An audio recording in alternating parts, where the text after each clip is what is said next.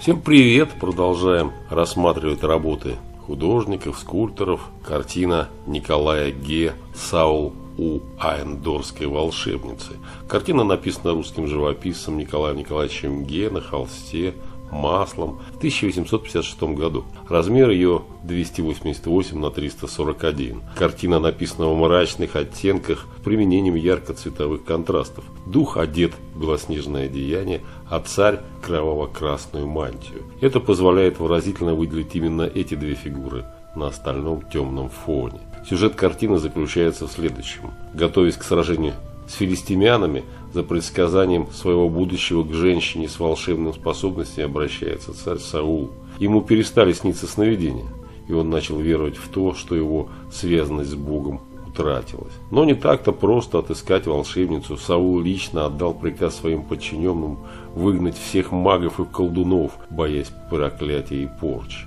Оказавшись у волшебницы, та задала вопрос Саулу. Какого человека ты намереваешь вызвать дух, великий царь? Решение Саула было непредсказуемым. Ответ он пожелал узнать у усопшего Самуила. Это был тот, который еще при своем существовании предсказал смерть царя и всех его кровных наследников. Саул желает получить другое пророчество от Самуила. Но дух умершего сообщает ту же самую весть, которую говорит и при жизни. Готовясь к сражению с филистимянами, царь погибнет. Абсолютно без сил Саул падает на пол, потеряв шанс на всяческую надежду. Это мгновение запечатлел на своем холсте Гея. Кто же предстал на самом деле царю? Был ли это действительно настоящий дух Самуила? А может это дело рук простой шарлатанки? Именно эти вопросы и стали волновать людей во все времена обращаясь в темы для долгих дискуссий.